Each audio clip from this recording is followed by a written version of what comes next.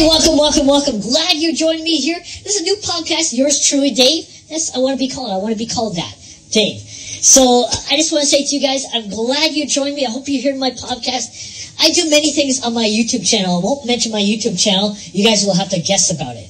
Um, so I will say this to you guys. Listen to what I got to say. And this will definitely, this will be on EQ sound. This will be on EQ sound if you know what that means. Um, and this will be sounding very good to the human ear. Um, I just want to say one quick thing. I'm here for your, your listening pleasures. Uh, I'm here for you guys to uh, get, take notice or take notice.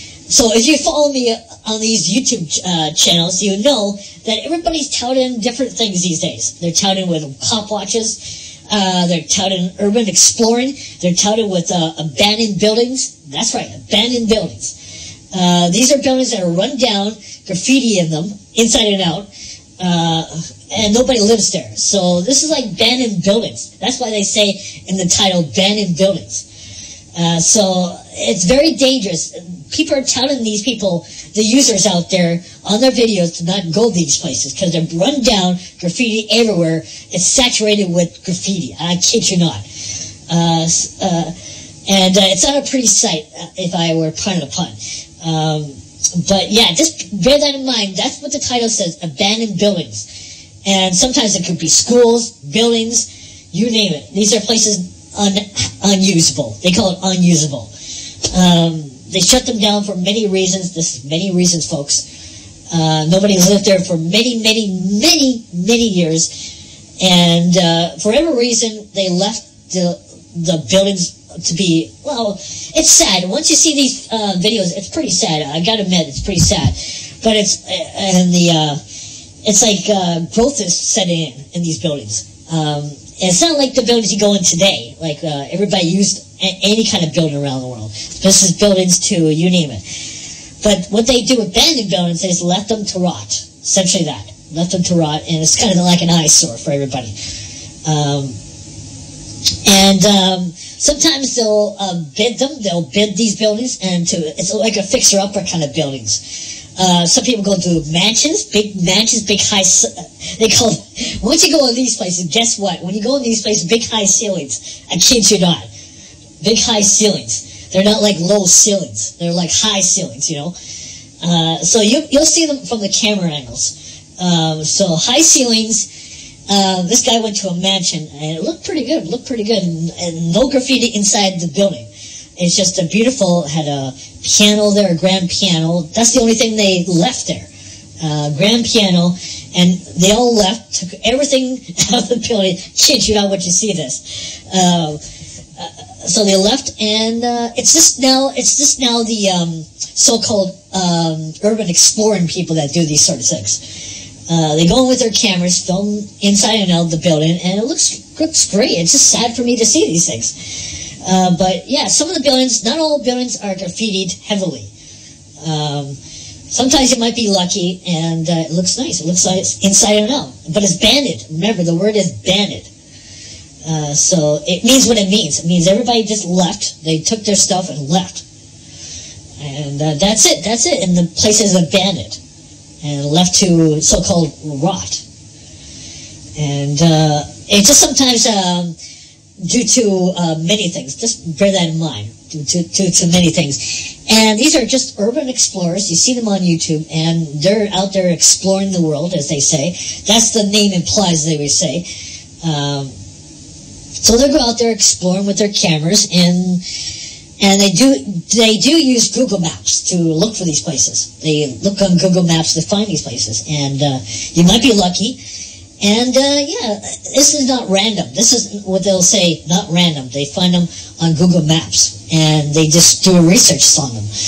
Uh, but there's several buildings that are abandoned, no longer used anymore. I mean, anymore. If you go to there, you'll know what I mean.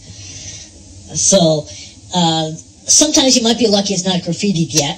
Uh, some other times there is. Uh, it depends on how the building is rotted or if it's just uh, for a few years that they left and everything is gone. Once you go to these places, everything is gone. It's like everything is just taken, left to rot.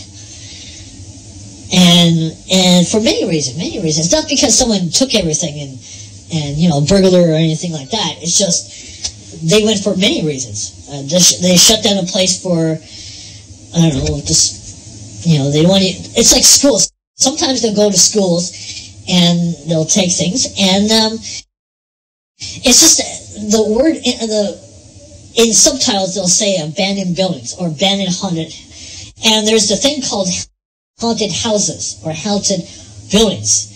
And these are what I call uh, poltergeist or um, paranormal kind of sites. These are ghostly figures. These are ghostly figures. And uh, sometimes not all these, these places are very haunted. It's what you believe in.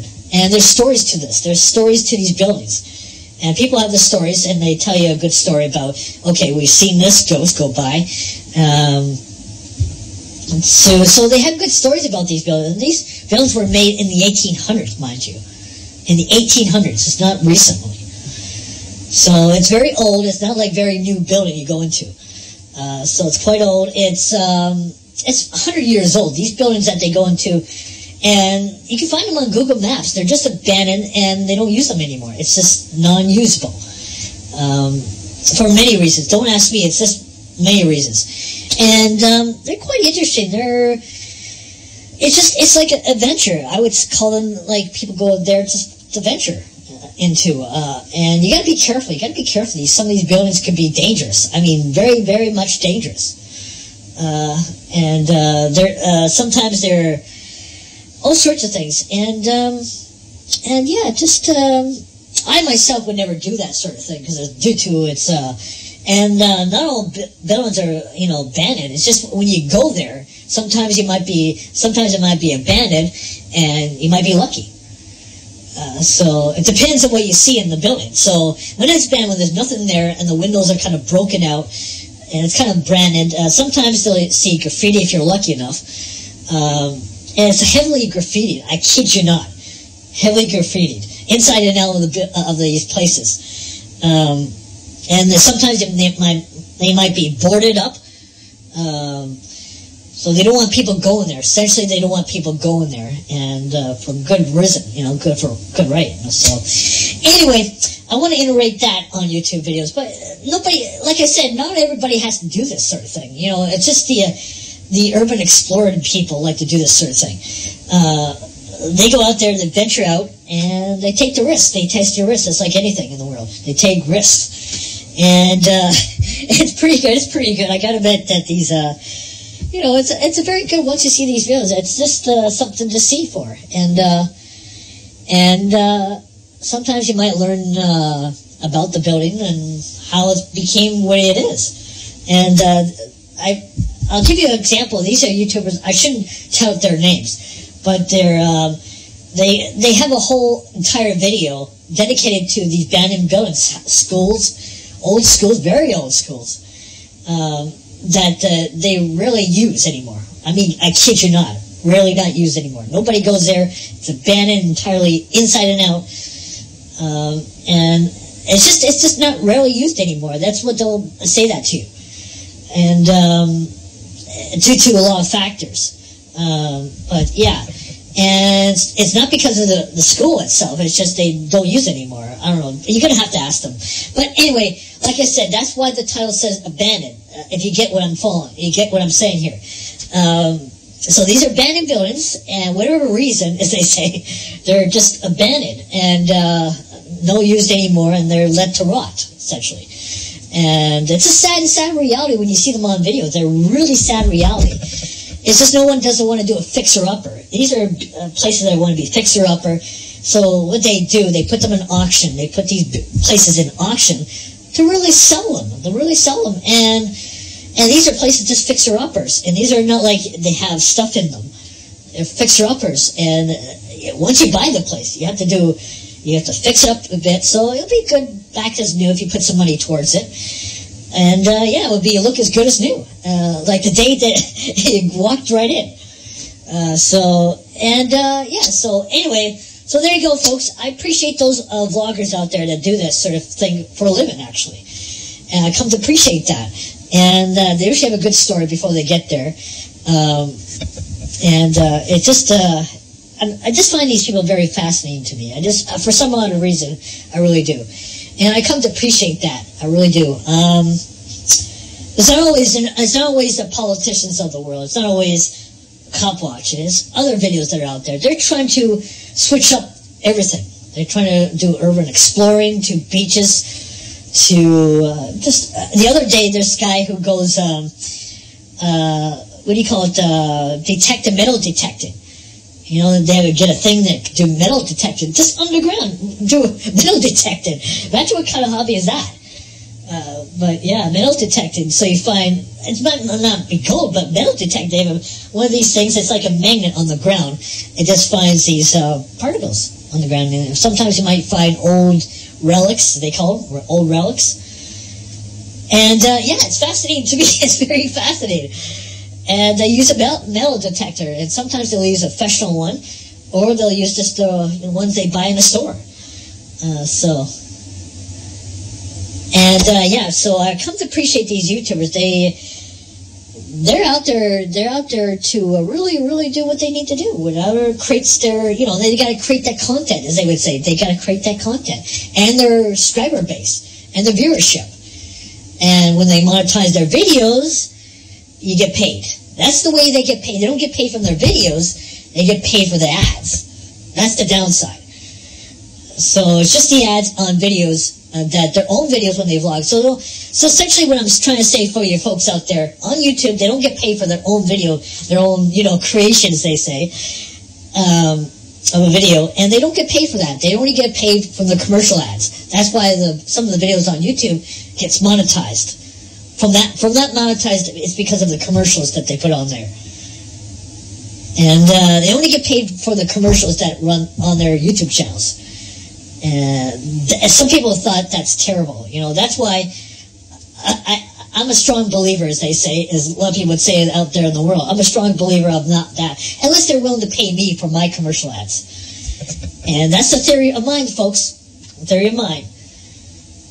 But um, so I want to say to you guys that uh, I really appreciate what you guys do out there on YouTube. Keep doing what you're doing, and people appreciate what you're doing out there.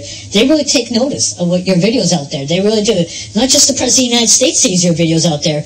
It's the people who uh, in government to, uh, and uh, and they really take notice. Sometimes, sorry about that cough. Sorry. They really take notice. They really take notice of your creation, of your video creations. Um, these are amazing videos. Sometimes amazing videos that uh, it, it's like an awe moment. Yeah. And uh, yeah, so it's not always the government people putting out their own videos. It's just regular you and I, Joel Schmo off the street, doing videos and creation. They got to do content, content, content, folks, content, eh? Content. Uh, so but when I say to you people, just get a vlog, ordinary vlog camera. Go into a store, go to a camera store, and get a vlog camera. Whatever vlog camera you want to get. Uh, whatever amount of money you can uh, have. Uh, just the, the best cameras are out there I see is nowadays the Sony cameras to the uh, Nokia cameras. And these are just vlog cameras because uh, they'll do the zoom. They'll do the zoom, in, you know, in and out in the zoom lens. And... Um, and uh, yeah, they'll have light cameras. They'll have, you know, light, continuous light. Yeah. And so all you need is an ordinary camera to do vlog videos. Just ordinary camera. It doesn't matter. As long as it, as long as it can upload to YouTube, that's good, you know. And so there, these are user, these are YouTuber users out there that have their own platform, have YouTube platforms out there, and uh, there's a lot of them out there and they want to they want to show they want to share their videos out there. I mean, sometimes videos go viral, and rightly so, as they say. Uh, so yeah, they get the long they get a lot of views out of the viral videos, and uh, they, they go into the thousands of views uh, just the viral videos alone. So, so there you go, folks. So the way to start uh, so if people want to ask how you get a YouTube channel, all you have to do is start fresh. Start fresh. Start how you get how you get it going to how you get a YouTube channel going. You'll be excited to get your YouTube channel going. A lot of people start their own YouTube channels like a brand new YouTube channel, and they're really excited at the moment because they got a YouTube uh, channel going. And it's like, you know, now they can share their videos out there to the world. Not just them seeing it in their close, close-knit family. Um, but everybody can see it and they can share it, share the links. They always say share the links. Um, and yeah, can, there's many ways you can share share the videos on YouTube. Many ways. Uh, I see it from the user standpoint.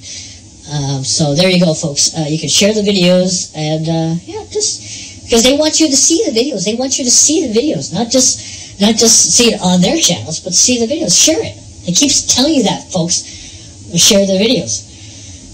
And they would say video is powerful, and they're not kidding. Video is powerful, folks. So there we go, folks. And uh, I want to leave you in a positive note. I really want to leave you as a positive note.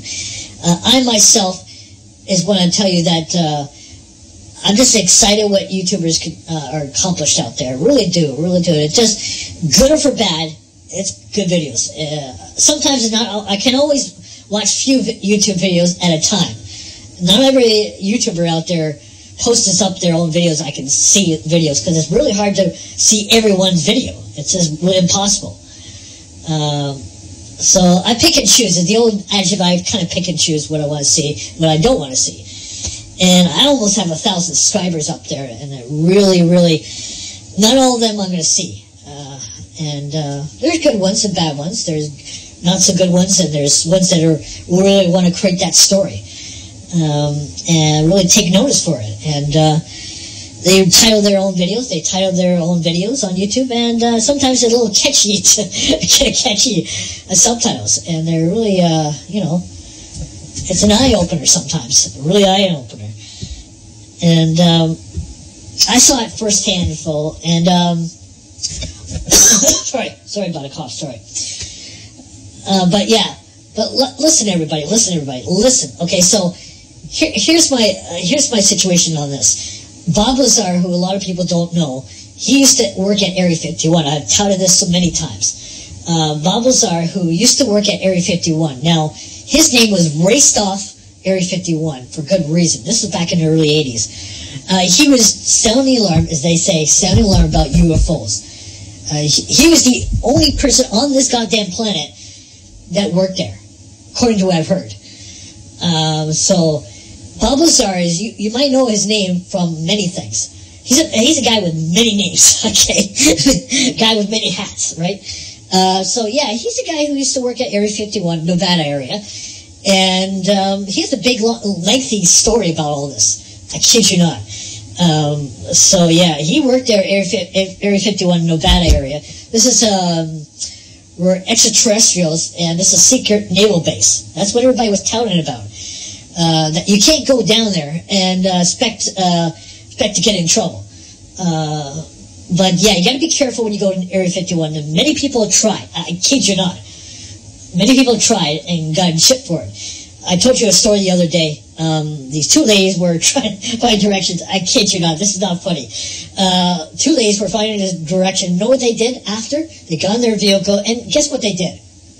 They went past a certain line. And those guys up in the, uh, what do you call it, up there in the hillside went after them because they couldn't, because they can't go past a certain line. They just can't. They just can't. They just can't. So, uh, so they have big signs that even tell you that before you do that. Um, so, so you can't pass a certain line. They have big signs once you get there. Uh, and uh, these these uh, guys with I guess you call these guys with Broncos these vehicles, and they were way up in the uh, hillside. Um, and Jesse Ventura, if you know that guy very well, uh, H. Ventura, he tried that. He almost tried that, but he didn't. But yeah, he it was almost tempted to do that. So there you go, folks. And uh, you didn't hear from me, right? hear from me. So yes, um, so I advise everybody not to do that, not to go to Area 51. It's a secret naval base, and for a good reason. Uh, for uh, many people have tried, seeing these YouTubers on YouTube videos. This is quite a while, quite a while. They tried to do this. They tried to go past a certain line. They're in shit if they do that. Uh, so yeah, apparently, apparently it's a federal uh, land. Apparently, and. Um, so, folks, uh, let me let me put a warning to you guys or disclaimers out there. Uh, do not go to Area 51. I think a lot of people have said that past YouTube videos. Uh, but the guy who who worked there, I kid you not, Bob Lazar, the one and only person on this planet who worked there. But he's on low key at the moment. Uh, 2003, he uh, did a radio interview with uh, Art Bell, if you pardon the pun, just name recognition. Um, went on his radio program and he was low key. He was very low key. He didn't want to talk about aliens or, uh, you know, so-called aliens and uh, aircrafts and all the stuff that people, disclosures that they always talk about. Um, uh, he was low key. He didn't want to talk about it. It's like in the past for him. Uh, so he worked there, but he just didn't want to discuss it. Uh, he's moved on from that. This is back in 2003 when he had the interview. Uh, but yeah, I don't know if he's still around to today, but he did a film about it uh, to put one out there, I think a year ago. Um, and uh, he really delved in. It's almost 25 years later, to, to be honest with you people. Uh, so yeah, he was the first person in the world to really sound the alarms with Area 51 and so-called, you know, extraterrestrials, as they would deem it as, um, from another world, from another, you know, universe, as they say. So these are, uh, he knows more uh, about the uh, alien crafts, aliens, and all this sort of nonsense that goes on. Uh, these are not just airplanes going in our skies today. Uh, these are alien crafts that zoom up really fast and go zoom way fast. I mean, it, if you've ever seen videos, this is not trickery or anything. This is alien. I never saw an alien craft do that. But Bob Lazar will tell you he worked on one of these alien crafts, so-called alien crafts. Um, but they have a pulsion. They call it the pulsion thing. Um, and that's why they zoom up really fast and zoom out really fast. Uh, so it's like I said, folks, uh, be very worried about this, okay? I kid you not. And uh, this was back in the early 80s with uh, the President of the United States. He had, um, uh, I'm going to take the caution way here. Um, the President of the United States saw these little aliens, so-called real green men, as they dubbed it as. Um, and, yeah, so 30 plus years, they had um, videos out there, disclaimers. Now, remember, people would say disclaimers on this. Um, and, uh, yeah, but they see them on their cameras. I kid you not.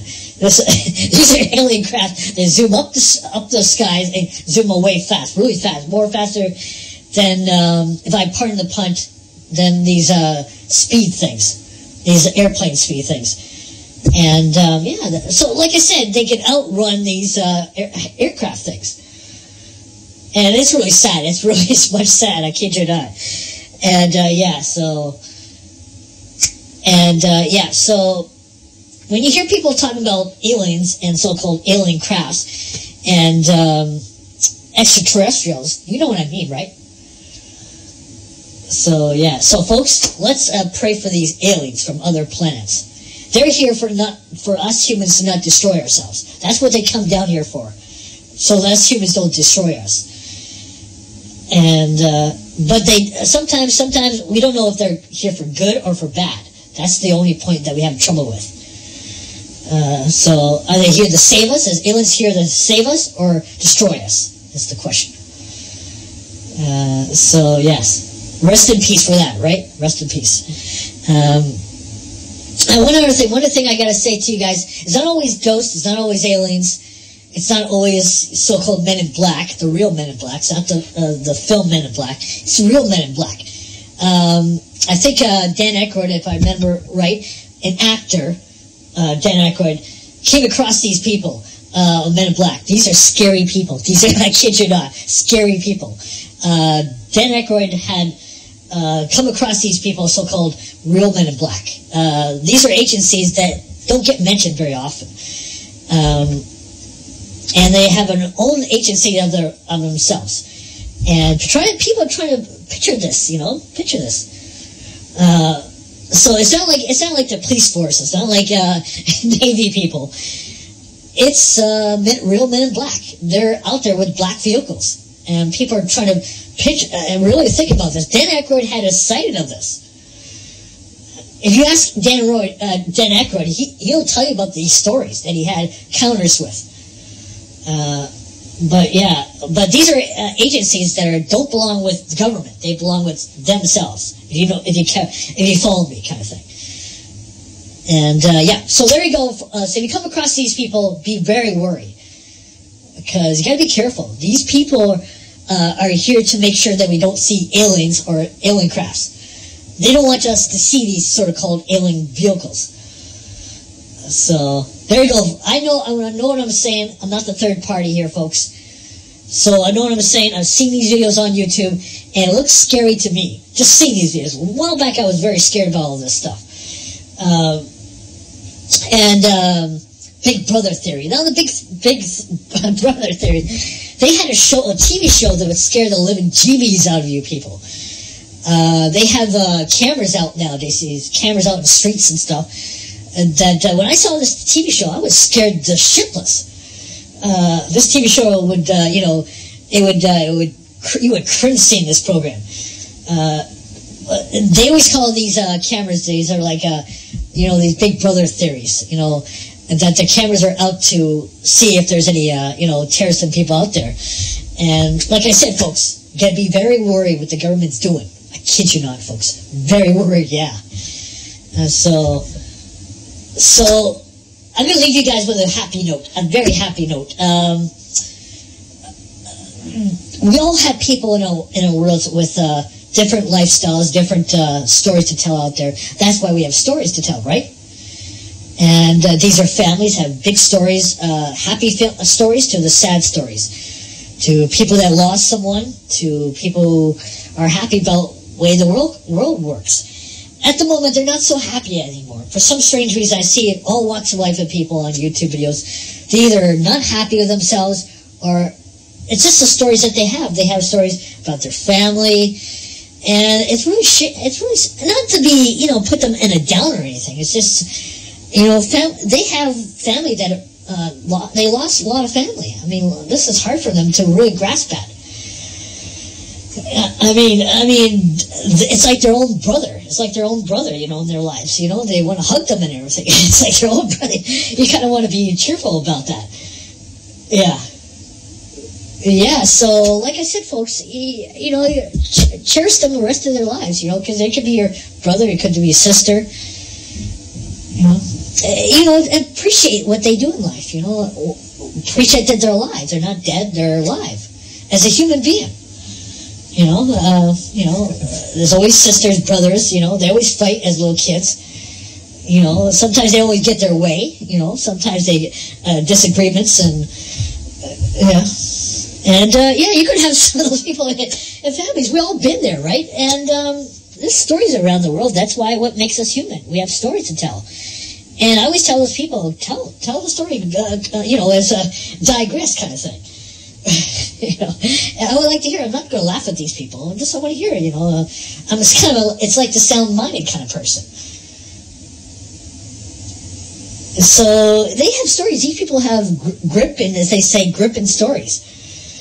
And it doesn't have to be that way, you know. And just sometimes it's uh, it's not always you, right? They always say it's not always you, but sometimes it could be because you just never know. Yeah, you know, I'm not. Uh, I'm not gravitating to them or anything. I'm just saying um, they do have stories. When I see stories on YouTube, it just it just it just heart wrenching to hear these stories. It's just really heart wrenching. This is uh, do with family members. Yeah. you know, I'm not trying to laugh at these people. You know, sometimes they have sad stories. They lost their loved ones, and it's really gravitating. It's really devastating to them. Yeah. Uh, but you know, we we're only human. We're not robots in the world. You know, you know, we only live one life. You know, that's what we have. You know, thank God we're humans. We have emotions. We have feelings. We have uh, when we get hurt. When we when people hurt our feelings, we get sad. We cry. Um, we get upset. We get very upset. We get mad. We get angry. That's what we have feelings for, and um, that's the real true. You know, as humans, that's what we have in this world. We are humans. We're not just robots. You know, robots don't have feelings. They're out there to help the humans. But think about that. Think about that for a second. Uh, I, I, was always touting that uh, robots are going to kill the world. Uh, but yeah, the, the, they always say the three laws of a robot. Yeah. And uh, yeah, so I like to hear the people's stories out there because it really, really it fascinates me. And um, I want to I want to hear a lot of stories out there. It's uh, a good story, bad story, to not so good story, to and I won't laugh at these people. I really won't because I know I can understand from the human aspect. Because remember, they have feelings. They're going to cry. They're going to whip out. Uh, they're going to have their defaults. you know. And uh, you know, uh, we'll, we'll, cry with them. You know, if they're going to cry, we'll cry with them. And uh, it's like uh, we'll have a crying moment. Uh, and yeah, it's devastating to everybody. So there you go, folks. And this is my podcast of the day, and I really appreciate you guys to hear me out. And um, this is not me ranting, or uh, I'm not like Alex Jones on Infowars. Um, and uh, so you have learned something today. I really appreciate that. I really do. Um, and uh, it's not always the politicians uh, pulling the strings around these world. It's not always the leaders. It's not always Donald Trump. It's not always Joe Biden saying God only knows what in every every protesting going on. Uh, you don't have to take their word for it, but uh, it's nice to hear them. It's nice to hear them. Like I say, you don't always have to agree with them. That's the beauty of uh, of the world we live in. Uh, always have to agree with them, and uh, if you agree with them, hey, that's great, wonderful. You know, but like I said, folks, we have uh, leaders around the world. That's why. That's why we have leaders because they lead the world. It's like the analogy I would use is like a ship. If you're a, a captain of a ship, it's like that theory. You need a captain. You need a captain of a ship to steer the whole country. Yeah, yeah. It's like a you know like a cruise ship or a naval ship, and um, I'm just fascinated about everything. And this is not to my no. This is all about my knowledge. You want to want to learn more? You can learn more. Uh, so I've learned all this, this uh, all this stuff 30 or 40 plus years of all this stuff what humans go through uh, in a day, week, month, year. And not because I gravitate to them. It's just they have stories to tell out there. And sometimes it's gripping. Sometimes it's happy, sad, mad, angry, upset. We all get upset, right? Um, and uh, yeah, so anyway, I'm so happy and I'm glad to talk about this, air out my differences. And, uh, and yeah, very much. Thank you for joining me. I'm to say ciao for now. I'm glad you listened. And if you learned any, something, learned any something today, I really appreciate that. Yeah. I'm just, I'm just who I am as a person on this world. Living, living amongst us kind of thing. Yeah. Yeah. And, uh, yes, so appreciate that. And don't forget, everybody, the election is November 3rd. Let's and, unless they change the date, unless they, uh, you know, Joe Biden the other day, I thought he had a good speech the other day. I was, this is, I'm re thinking about this. Uh, but he had a good speech there. He was just telling uh, Donald Trump, as he always does. Um, he's uh, he's doesn't he has a plan. He has a plan. Don't worry, guys. He has a plan. Uh, bigger, better. What's the game? Bigger, better, something. I don't know. Uh, but that's what he's telling nowadays. He has Kamala Harris at his side. I haven't seen Kamala Harris as of recently. Uh, not to be uh, excited about it, but just Kamala Harris, she's she's here nor there for me. Uh, she uh, has her own, and um, yeah. So anyway, hope you enjoyed your day. Hope you enjoyed your night, and um, I want to say to you people, I really enjoy being a human being. Oh, in case you didn't know, my friend did pass away 31 years. I'm still sad to this day that I lost my dear friend, and uh, 31 years, 31 years as I know him. Uh, and uh, he was a solid friend, a very solid friend. Um, and he, I learned off him, and he learned off me, and uh, which is great, wonderful. Yeah, sometimes sometimes he kind of does it in a humorous way, kind of thing. Uh, you know, make sure you're you know you're on the right track of your life.